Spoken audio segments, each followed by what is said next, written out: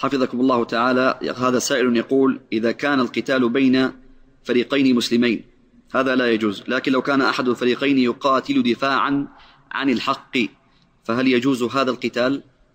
هذا قتال أهل البغي.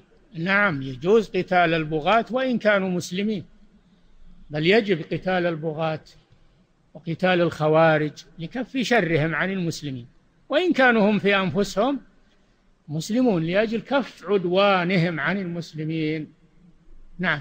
يقاتلون بقدر ما يكف شرهم عن المسلمين. ثم يمسك عنهم. نعم.